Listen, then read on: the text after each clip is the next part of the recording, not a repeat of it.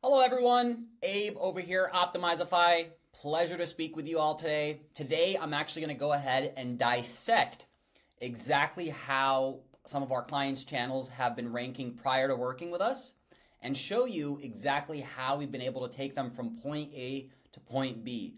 So, if we go ahead and take a look at, for example, this channel right here, if we go ahead and take a look at the first video posted overall, what we could see is that first and foremost, when we're taking a look at this video, the title itself is not really something that you know people are legitimately searching for there within the YouTube algorithm. It's going to be very difficult for somebody to actually find this video within the YouTube algorithm because of the title there itself, and it's not it's definitely not a title that's that people are actively typing into the search bar. In addition to that, you know, if we go ahead and take a look at the description, there's definitely a fair amount of opportunity to help the description itself be far more visible in the YouTube algorithm. And lastly, if we go ahead and take a look at the tags here, we can see there's a tremendous room for growth when it comes to the tags itself.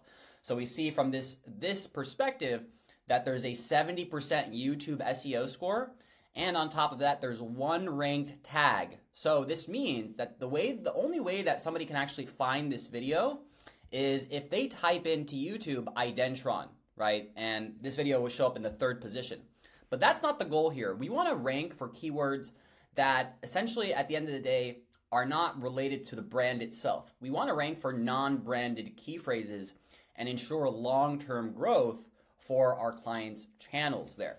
So when we take a look at this right here, we can see that right off the bat that this video is probably not going to drive a whole lot of long-term growth in regards to, for this channels because you know people are simply not able to find this video unless they actually type in the company name.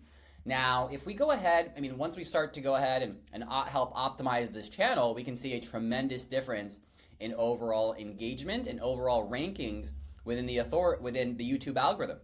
If we go ahead and take a look at, for example, this video here, we can see that there's a total of six different ranked tags in the algorithm.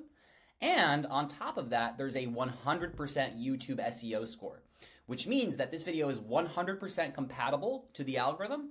And on top of that, there are six total ranked tags. That's six different opportunities that this video has to show up in the algorithm. Now, if you type in importance of cyber of, of security assessments, right, this video is in the number one position. Uh, you know, if you type in what what what constitutes a security assessment, this video is in the second position right? So, you know, let's say if you're a cybersecurity consultant, you definitely want to rank for these keywords rather than ranking for your company name. And that's the goal. The more keywords you're able to rank for, the more of an opportunity people will have to actually find your content on YouTube. Now, if we take a look at, for example, this video, we can also see that there's a total of eight ranked tags and a 95% score. So really close to full compatibility here in regards to the, to the SEO algorithm. In addition to that, that's there's eight different opportunities that this video has to rank in the YouTube algorithm.